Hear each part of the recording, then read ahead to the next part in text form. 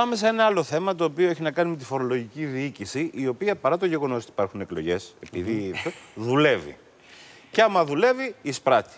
Και η, στρίτα, και η σχήρα τρίτων. Ε, καλή μόνο να μην δούλευε. Ναι, ναι. Έτσι, γιατί και Όχι είναι... γιατί κάποιοι πιστεύουν, λέει εκλογές έχουμε τώρα, μωρέ, δεν Ναι, κάνουν. Σταματά το κράτος. Μην πολύ Για χαίρετε. πες για αυτή την υπόθεση, η οποία έχει Ανεξάρτητη πολύ αρχή ενδιαφέρον. Δημοσίων εσόδων. Ναι. Λοιπόν, πας σε ένα εστιατόριο. Μάλιστα. Σου έχει τύχει να κόψεις τιμολόγιο ποτέ; Συμβαίνει. Εσύ; Ναι, ας δεν- πούμε, ναι. Ναι, συμβαίνει. Πας λοιπόν και λες ένα τιμολόγιο. Τα τιμολόγια πλέον για όλους έχουν γίνει ηλεκτρονικά. Δεν υπάρχει πλέον το Δευτέρι παλιά που κόβαμε τα τιμολόγια. Έχουν γίνει ηλεκτρονικά. Πάει λοιπόν κάποιος σε ένα εστιατόριο στη Μύκονο. Κάνει, φαντάζομαι, και ένα μεγάλο λογαριασμό και ζητάει από την επιχείρηση στο εστιατόριο να του κόψει τιμολόγιο. Μάλιστα.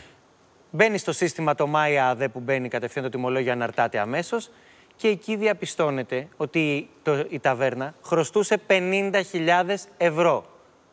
Η ταβέρνα που ε, φάγανε. Η ταβέρνα που φάγανε Στην οποία χρωστούσε και έκοψε και 50.000 κόπηκε το ευρώ. τιμολόγιο. Μάλιστα. Και καλεί τον πελάτη τώρα η ΑΔΕ, η εφορία για να το εξηγήσουμε πολύ απλά στον κόσμο, και του λέει: Έλα εδώ, αν έχεις κι άλλες συναλλαγές με αυτό το εστιατόριο, την επόμενη φορά που θα πας, τα χρήματα δεν θα τα πληρώσεις το εστιατόριο.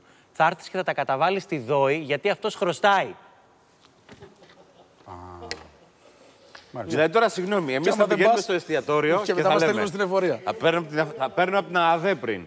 Αδέλφια, πού να πληρώσω τα λεφτά; Στον εστιατόρα ή σε εσάς; Είναι μια λοιπόν μεγάλη διαδικασία. Κάναμε Ναι. πολύ ρεπορτάζ, επικοινώνησε η εκπομπή και με την Ανεξάρτητη Αρχή Δημοσίων Εσόδων. Ο Ταβερνιάρης χρωστάει 50 χιλιάρικα σε ΦΠΑ. Να Μάλιστα. εξηγήσουμε το ΦΠΑ ότι δεν είναι ένα έσοδο του μαγαζιού. Όχι. Το, εισπράττουμε, το εισπράττει κάθε επιχείρηση για λογαριασμό του κράτους και πρέπει να το αποδίδει. Και τι τσιμπάει όμως; Ότι ο συγκεκριμένος πελάτης τον Απρίλιο μόνο είχε φάει 9 φορές το συγκεκριμένο εστιατόριο. Μάλιστα.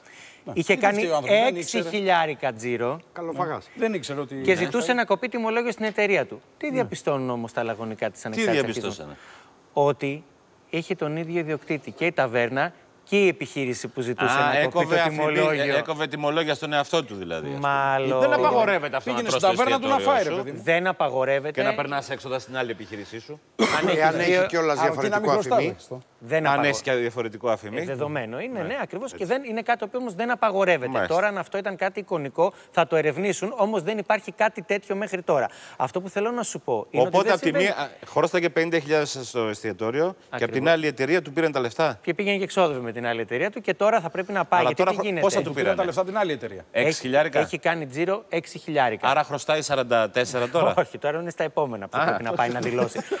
Γιατί; Η εφορία απλά θέλω να σου πω για να σου το εξηγήσω γιατί δεν είναι η πρώτη φορά. Εγώ ήταν κάτι το οποίο το ήξερα. Α. Έχει γίνει τώρα ρεπορτάζ επειδή είναι μήκονο, είναι εστιατόριο και έχει και λίγο πλάκα. Μάλιστα. Το κάνει και στα ενίκια. Το έχεις ακούσει ποτέ; Όχι. Ναι. Εσύ λοιπόν έχεις μου νοικιάζει εμένα το σπίτι σου. Και εγώ κάθε μήνα σου καταβάλω το ενίκιο. Χρωστάς την εφορία Ναι. και επειδή εκεί δηλώνεται Α, το αυτό το ενίκιο. έχω ακούσει, ναι, αυτό το έχω Ακριβώς. ακούσει. Πας εσύ και καταβάλεις το ενίκιο στην εφορία. Ακριβώς. Και μπαίνεις σε μια διαδικασία ο ενοικιαστής εδώ πελάτης και πρέπει να πας στο ειρηνοδικείο να δηλώσεις αυτό που λέμε δηλώσεις τρίτων, εμείς οι δικηγόροι.